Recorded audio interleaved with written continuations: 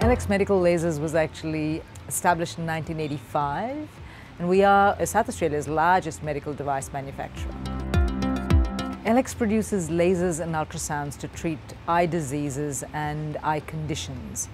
And that's largely glaucoma, diabetic retinopathy, secondary cataracts, vitreous opacities, and age-related macular degeneration. So Ellex has about 285 people globally, so because we have offices overseas in Europe, in the US and Japan as well. Here in Australia, we have over 160 people employed. We moved into these purpose-built premises in early 2017 and that's given us the capacity to grow and explore a number of other opportunities for the company on, a, on the global stage. To make a high-tech company work these days, you need technical skills because you have to have people with really high technical skills as, this, as that's your ticket to play. So South Australia is actually an excellent place to develop and commercialize medical devices. It builds on a number of other industries that we've had here.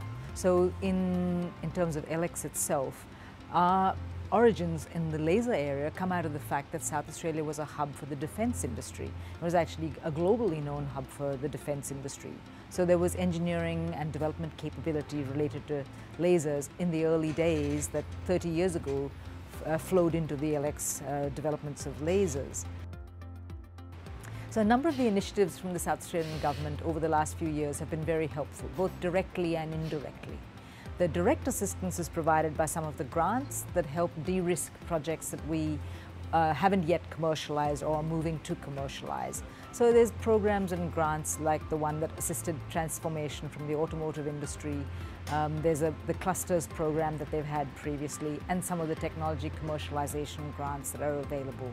Indirectly, the assist, the, what's really helpful is some of the the group initiatives that take us global. We've been to China, we've been to um, areas that, which, with the emerging markets where it's not always easy to make your own presence. It's really been assisted by the South Australian government initiatives.